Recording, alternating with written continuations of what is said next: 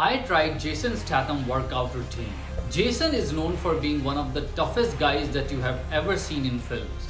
Jason has one of the most ripped physique and body in the movie industry. Within Jason's routines, he normally mixes up his workout and he also likes to use his own body weight when he workouts. His training plan is packed with high intensity exercises that keep the heart rate up while burning fat as well as toning muscles. So in this video, I will show you what happened when I worked out like Jason Statham for 30 days.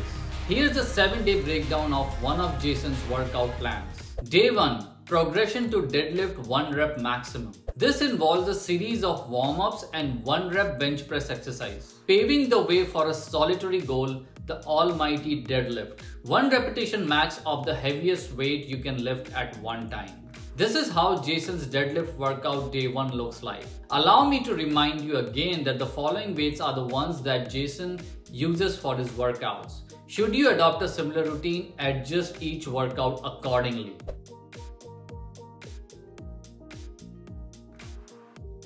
My back used to be very sore after deadlifting so much. I normally consumed a lot of carbs to recover well. Also sleeping for 8 hours helped a lot. Coming to day 2 which is functional circuit workout. This intense workout builds metabolism and targets various muscle groups. Jason alternates between 5 exercises and performs the entire circuit 10 times. He starts with 10 reps, then goes to 9, then 8 and so on, making for a grand total of 55 reps per exercise. There should be minimal rest time between each set. Here is his second day workout program.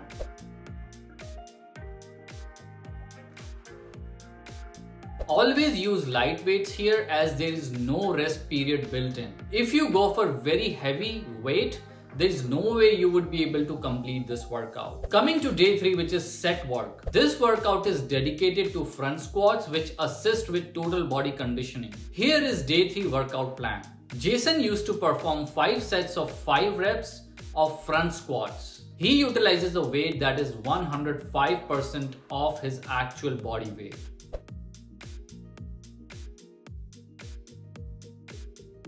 This was one of the most intense workout I have ever done. The front squat is an essential lift for anyone looking to add a more dynamic exercise to their leg routine. Though you won't move as much weight as you would with the traditional back squat, this front variation places much more emphasis on your quads than your hamstrings. And it's far more engaging for your core. It's an easy exercise to get wrong, especially if you have been doing back squats your entire life. One of the biggest mistake while doing front squats is overarching your back.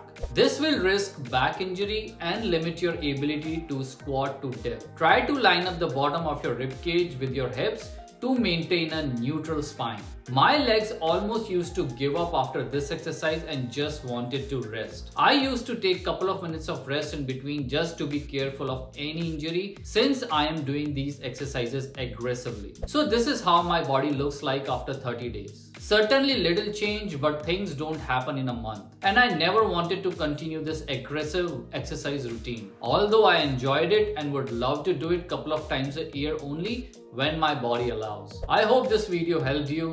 Please subscribe to the channel and hit the notification bell to get the latest videos. Coming up are the videos which you don't want to miss out where I share my experiences working out like Rock and Arnold.